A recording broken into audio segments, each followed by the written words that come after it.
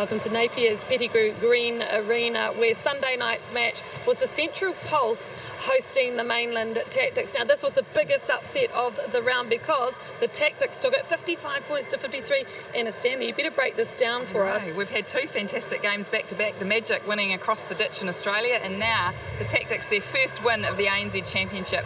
Fantastic for them. They had to work hard the whole way. They were down by six going into the half time, but they pushed on and finished with some true true red and black gritty pride. Love it. Uh, a key person for them, Mwai Kumwenda, as per usual. She's been in great form, hasn't she? Yeah, and she was outstanding again tonight. She hasn't shot under 90% in four rounds of this competition, and she's been up against some fierce defenders like tonight and Katrina Grant and Selby Rickett.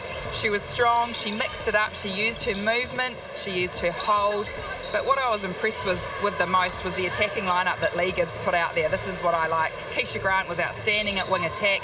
She got to the top of the circle. She fed, you know, clean, precision ball into Kumwenda with Thompson assisting at goal attack. So I think it was the whole attacking end that allowed Kumwenda to thrive in at goal shoot. And of course, so when this game started, the Pulse, their shooting circle most accurate in the competition, but the Tactix defence were very strong, weren't they? Yeah, they really pushed Wilkins and Van Dyke tonight. Again, the Pulse, it's been an area that, that hasn't been dominant for them in terms of just their ability to get the ball nice and easily into, into Wilkins. And certainly Walker and Moulds in that first half, they went up for ball. Moulds' height was certainly an asset in there.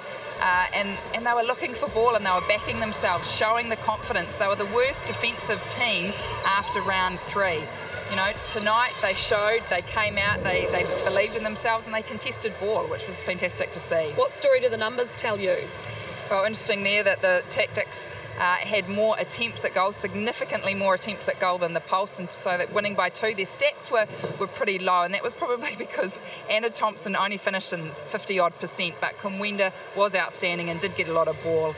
Uh, so in the end, you know, they just pushed on, and the Pulse, it was an area that Robbie Broughton had, ad had addressed during the week when they were up. She wanted them to put their, their foot down, didn't quite do that again tonight. So there was our Sunday night game. It was the Tactix over the Pulse, 55 to 53.